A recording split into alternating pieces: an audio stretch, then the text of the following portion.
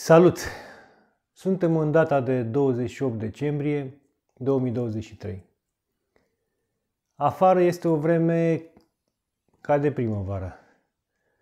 În zona aceasta, de nord a județului Argeș, nu a plouat de cel puțin 3 săptămâni. Ieri au fost înregistrate temperaturi diurne de 15-16 grade iar noaptea coboară la temperatura coboară la o valoare de 2-3 grade. Din nefericire, cantitatea de apă din sol este minimă. Așa că am să fac o operațiune specifică sezonului cald și anume aceea de a aduce un aport de apă noilor pomi pe care i-am plantat în toamnă.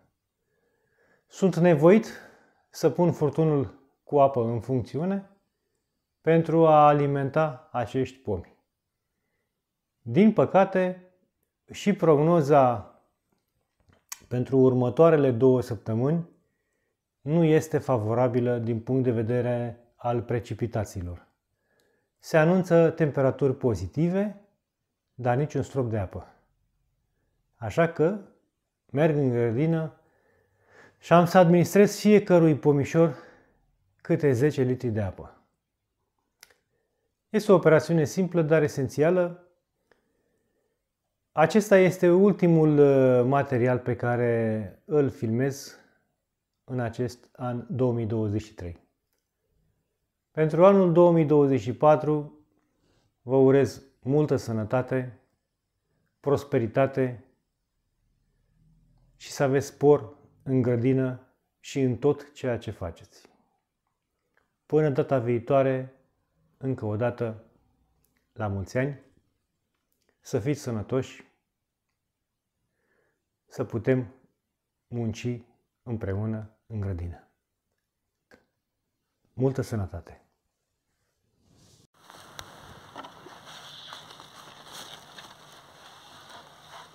Am să administrez fiecărui pom o cantitate de 10 litri de apă.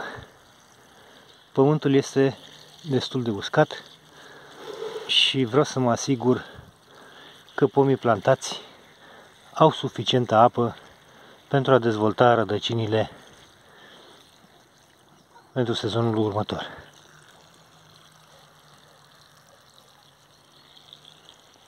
Așa că încet, încet, la fiecare pom nou plantat, am să pun apă, chiar dacă suntem la sfârșitul lunii decembrie.